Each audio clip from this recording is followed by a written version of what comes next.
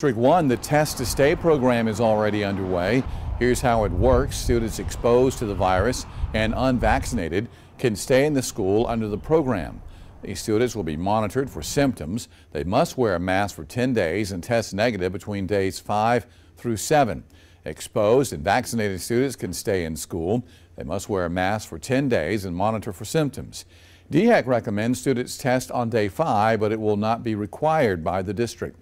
Students who have been exposed and who have had COVID recently can stay in school but must wear a mask and monitor for virus symptoms. Tyson Foods tonight is dropping